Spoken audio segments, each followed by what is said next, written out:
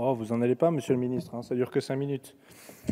Bien, euh, bonjour à, toutes et à tous, chers collègues, monsieur le ministre de l'Intérieur qui, qui me fait l'honneur de rester euh, m'écouter, contrairement au ministre de la Justice, euh, madame la présidente de la commission des lois, mes chers collègues.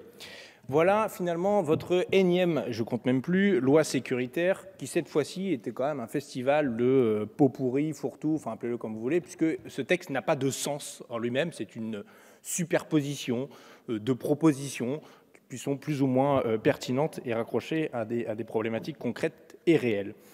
Euh, parce que finalement, euh, ce projet de loi, il est symptomatique de vos obsessions, de vos angoisses. Vous voulez gouverner sur la peur, vous voulez faire peur pour essayer de répondre à ces peurs avec toujours plus de sécurité. Je mets des puisqu'elle n'est pas au rendez-vous comme, comme chien cassé.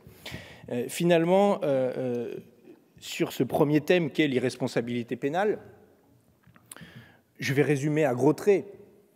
Il y a euh, le meurtre de Sarah Halimi, meurtre antisémite, abject, qui a suscité l'émoi légitime dans le pays, émoi partagé par le président de la République, qui déjà au cours du débat judiciaire euh, s'était permis d'intervenir avec un communiqué du Conseil supérieur de la magistrature lui demandant de jouer son rôle de garant de l'indépendance euh, de l'autorité judiciaire.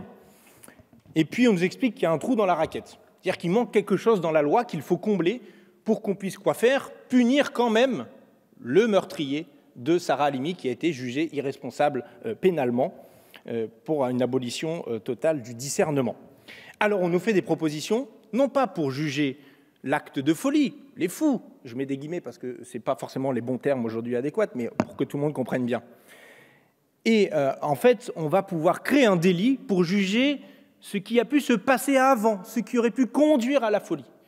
Euh, puisque, effectivement, euh, on va essayer de tordre ce, que les professionnels appellent l'animus necandi. J'apprends des mots, moi aussi, au détour de ce genre de débat, très passionnant au demeurant.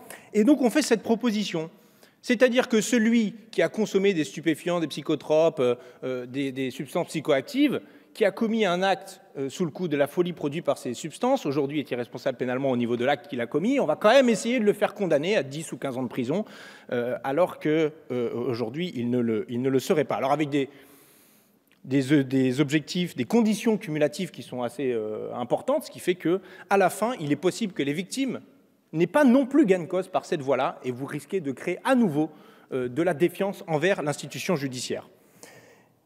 Et cerise sur le gâteau, ce trou dans la raquette qui est censé combler ce texte, on vient nous dire que très tranquillement, ça n'aurait rien changé au cas de l'affaire Sarah Halimi et on devrait du coup le valider. C'est quand même assez extraordinaire. Vous avez une commande politique du président de la République et vous n'y répondez même pas. À votre place, je me serais abstenu de faire un tel texte.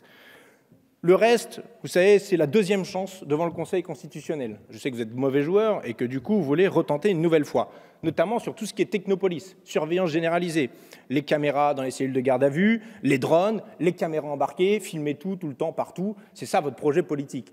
C'est censé nous rassurer Je ne suis pas bien sûr que ce soit euh, très rassurant.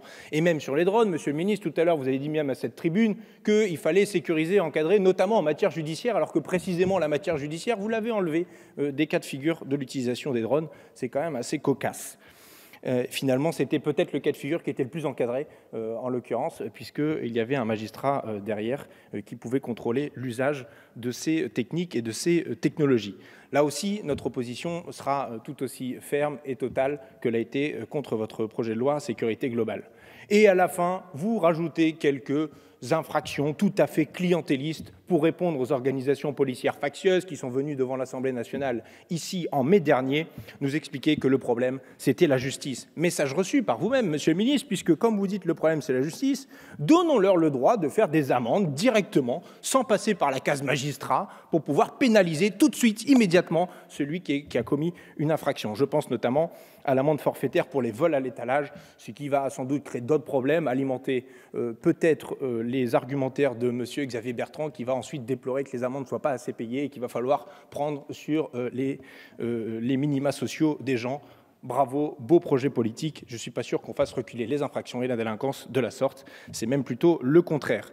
Et à la fin, vous créez une infraction autonome sur les violences policières, vous, créez, vous augmentez l'échelle des peines sur les refus d'obtempérer, véhiculant cette croyance qui n'est qu'une croyance et qui n'a jamais été taillée, ou plutôt nous avons déjà fait amplement la démonstration du contraire, Quand on commet une infraction, on ne le fait pas, le code pénal à la main. Et personne aujourd'hui ne fait un refus d'obtempérer en se disant Ah, ça va, c'est pas grand-chose, c'est pas cher payé un refus d'obtempérer, et demain le fera Ah zut, maintenant c'est deux ans ou trois ans de prison en fonction des circonstances. jamais je ne ferai un refus d'obtempérer. C'est ridicule. C'est ridicule et c'est totalement, c'est tellement ridicule qu'à la fin, il n'y aura pas moins de refus d'obtempérer dans ce pays avec ces méthodes-là. Vous êtes en train de flouer les policières et les policiers et les gendarmes qui aujourd'hui, au quotidien, sont là sur le terrain et font ce qu'on leur demande de faire. Pour nous, ce sera donc un vote d'opposition à ce projet de loi pot pourri.